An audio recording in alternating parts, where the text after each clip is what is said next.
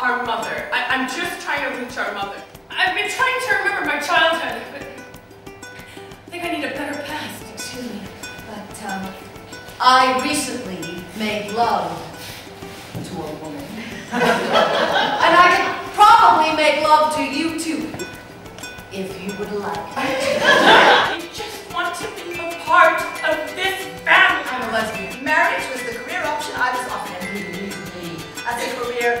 wild the theatre is going to go without intellectual stimulation for fast stretches like that. I have commitment problems. So, commit and have problems! I said it. hold on!